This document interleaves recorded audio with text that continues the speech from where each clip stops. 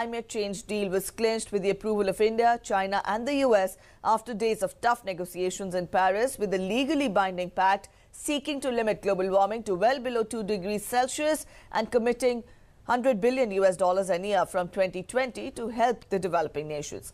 The deal ends decades long rows between rich and poor nations over how to carry out what will be a multi trillion dollar effort to cap global warming and deal with consequences already occurring. Earlier, French President Francois Hollande had called Prime Minister Narendra Modi in an apparent bid to persuade India to go with the deal. Welcoming the deal, Javadekar said that the world leaders have a chapter of hope in the lives of 7 billion people.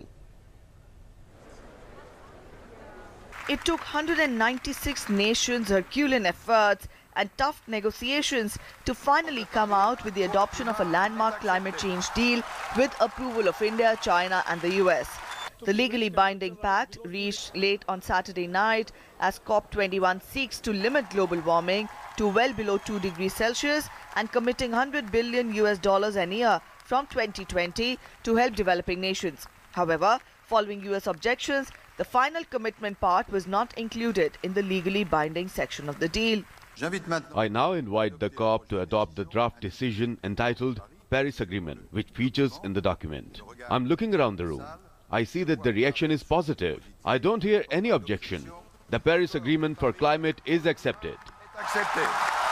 The Paris Accord sets a target of limiting warming of the planet to well below 2 degrees Celsius compared with the Industrial Revolution, while aiming for an even more ambitious goal of 1.5 degrees Celsius. However, India felt that more could have been achieved from the agreement as India had been demanding mitigation, adaptation, finance and access to technology. While give and take is a normal in negotiations, we are of the opinion that the agreement could have been more ambitious.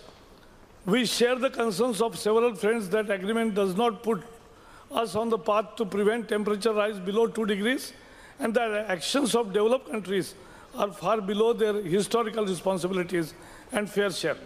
US President Barack Obama also hailed the landmark climate accord. An enduring agreement that reduces global carbon pollution and sets the world on a course to a low carbon future. A few hours ago, we succeeded.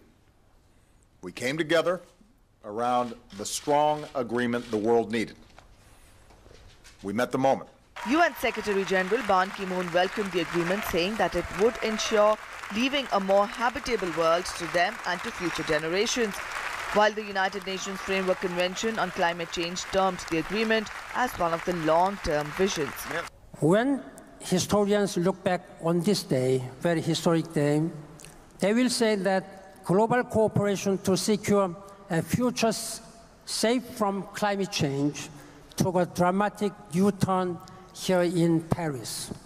Uh, today, we can look into the eyes of our children, our grandchildren, and we can finally say, tell them that we have joined hands to bequeath a more habitable world to them and to future generations. It is an agreement of conviction. It is an agreement of solidarity with the most vulnerable. It is an agreement of long-term vision. Scientists have warned that the envisaged national emissions cuts will not be enough to keep warming to less than 2 degrees Celsius.